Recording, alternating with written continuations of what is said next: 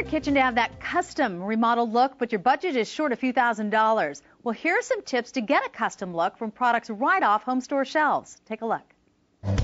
Hi, I'm Jenny Wright with Kitchen Makeovers magazine.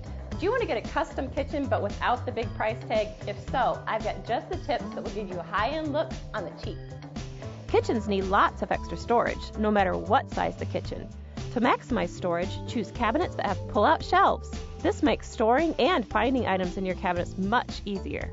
These stock cabinets from American Woodmark have pull-out shelves, hidden cutting boards, and garbage pull-outs. This lazy Susan makes getting to the back of corner cabinets as easy as spinning a wheel. I designed this kitchen to pack storage in every possible place. This kitchen didn't have an entrance from the backyard, so we installed these French doors to make coming in and out more convenient.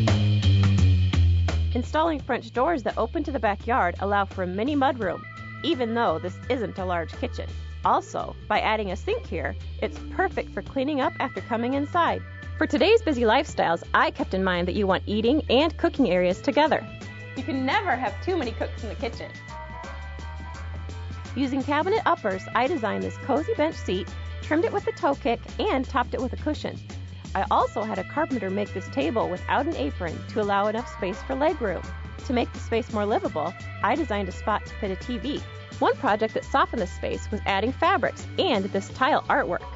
The fabric adds softness to the typical hard surfaces found in the kitchen, while the weave of the fabric creates a unifying feel, tying in the window treatments to the chairs. Instead of running cabinetry just along the walls, I designed this great peninsula to separate the work area from the dining area.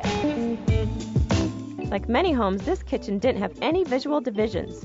By adding a peninsula, this provides more counter space while separating the space without blocking the view. Since the old and cracked floors had to be replaced anyway, I chose a hexagon tile and wood combination to keep a consistent feel with the rest of this craftsman style home. The wood and tile make visual rugs that also define the two spaces.